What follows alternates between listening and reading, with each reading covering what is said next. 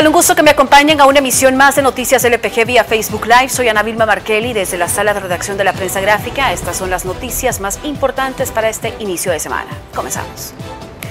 Tal como lo anunciaron la semana pasada, autoridades del Ministerio de Agricultura y Ganadería, este lunes 27 de abril dio inicio a la entrega de paquetes agrícolas en los departamentos de Santa Ana, Sonsonate y Aguachapán. En total fueron 70 bodegas las que abrieron desde tempranas horas en las cuales se activaron los protocolos de seguridad para evitar contagios del COVID-19. Con una inversión de 30 millones de dólares serán beneficiados unos 400 mil agricultores de todo El Salvador y las entregas continuarán el próximo 6 de mayo en la zona central y paracentral. El 26 de mayo se entregarán a los agricultores de la zona oriental.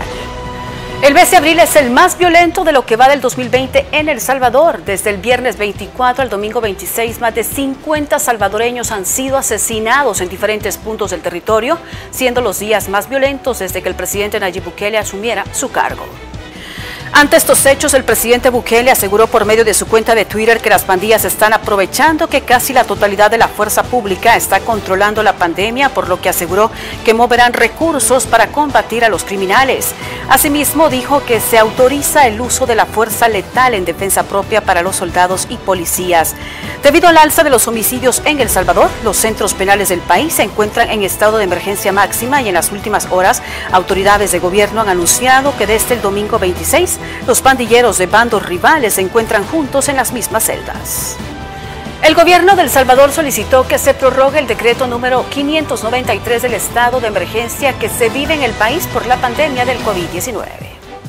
El presidente del Parlamento, Mario Ponce, dijo que la Comisión Política emitió este lunes 27 de abril dictamen favorable, por lo que la prórroga será sometida a votación en la próxima plenaria esta misma semana.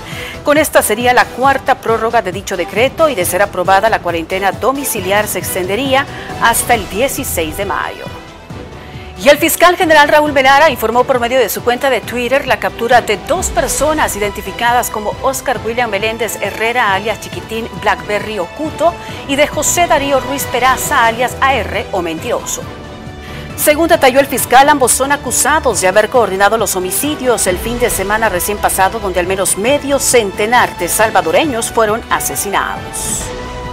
Gracias por haberme acompañado en una emisión más de Noticias LPG. Recuerde que contener el coronavirus es responsabilidad de todos. Por favor, quédese en casa. Soy Ana Vilma Markelli regreso mañana para compartirles más información.